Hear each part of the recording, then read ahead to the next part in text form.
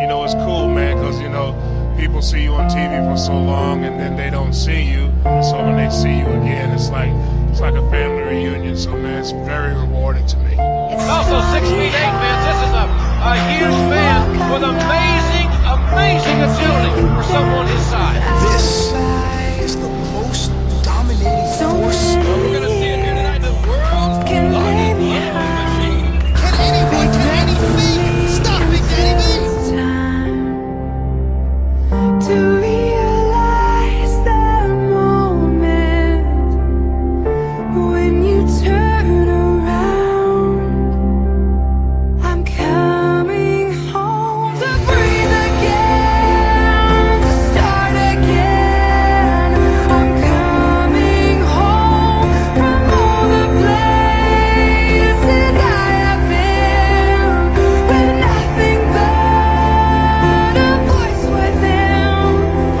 here to cash some checks and break some necks. I'm looking forward to kicking some ass.